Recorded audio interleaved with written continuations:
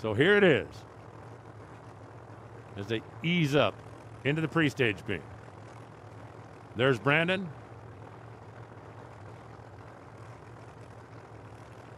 There's Stevie.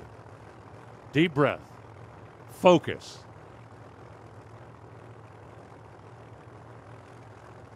Brandon's ready for the championship. Green lights a pair. Seven thou apart in reaction time. Stevie's car's dancing around middle of the race course. Wind light says Stevie fast Jackson by four thousandths of a second. 577 248 for Steve. Brandon Snider, 578, 246 miles an hour. Brandon Snider, 015. Stevie Fast, 022. Lock down the little numbers. True margin at the finish line stripe was four thousandths of a second.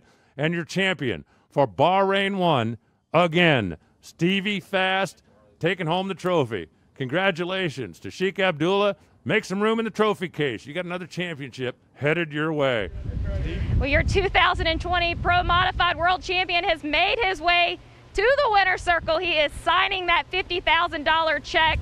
Steve, as you pick up your second championship trophy, last year you picked up your first championship a whole race ahead on the season.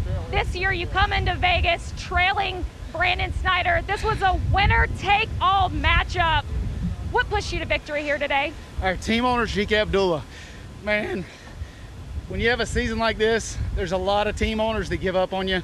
When you run as bad as we've been running, there's a lot of people that give up on you. You have sponsors leave, you have people doubt you.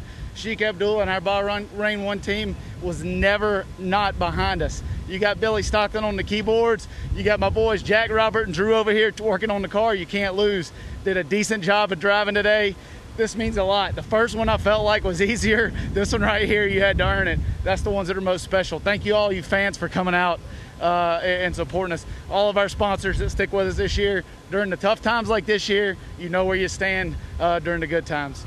How about that, boys? Congratulations to your 2020 E3 Spark Plug Pro Modified World Champion, Stevie Fast Jackson.